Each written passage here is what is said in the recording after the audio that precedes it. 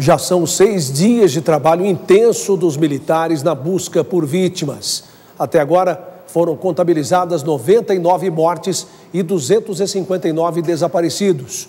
Mesmo em meio à dor, uma família recebeu nossa equipe, dividindo o sofrimento e a esperança.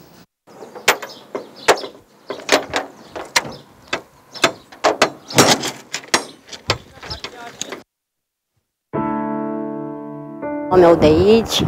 A tristeza da gente chegar aqui, ver essa, essa tragédia.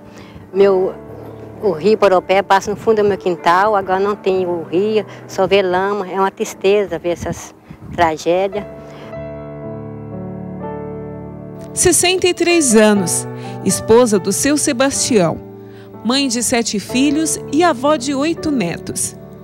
A dor da dona Deildes é grande, mas o sustento vem da fé. Agora, para Deus dar a gente força e saúde, para a gente vencer essa, vencer essa batalha.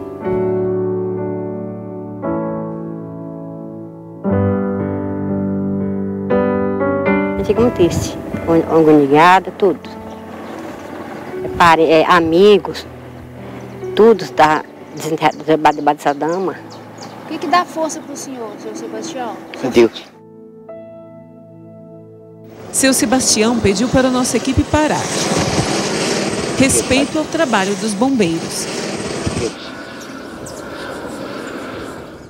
A cena logo cedo no córrego do Feijão em Brumadinho, Minas Gerais, é essa. Bombeiros reunidos traçando estratégias para mais um dia de missão.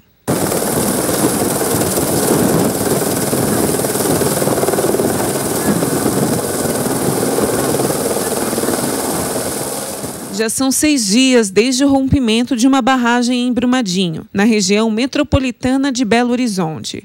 Mais de 300 militares empenhados nas buscas pelas vítimas da tragédia.